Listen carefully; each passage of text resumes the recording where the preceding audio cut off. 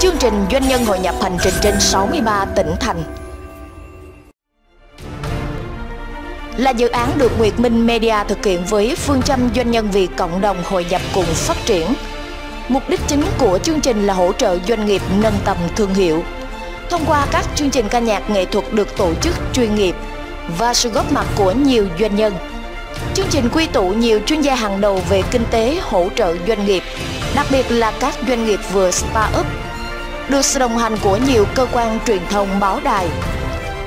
Chương trình hứa hẹn là một dự án mang nhiều giá trị nhân văn, thiết thực và hữu ích, giúp cho cộng đồng doanh nghiệp họp mặt giao lưu, gặp gỡ, là nơi doanh nghiệp tỏ sáng và khẳng định được thương hiệu của chính mình và tạo ra nhiều cơ hội hợp tác cùng nhau phát triển.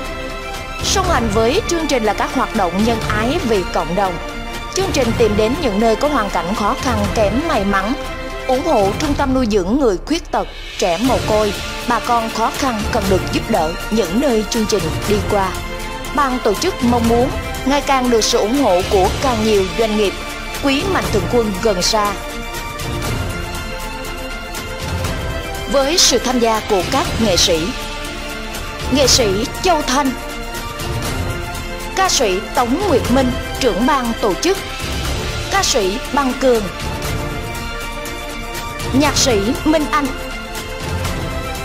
MC Vinh Quang. Diễm Giang. Gemini Bảo Anh, Bảo Trân. Ca sĩ Vương Bảo Ngọc. Xin cảm ơn quý vị đã cùng theo dõi.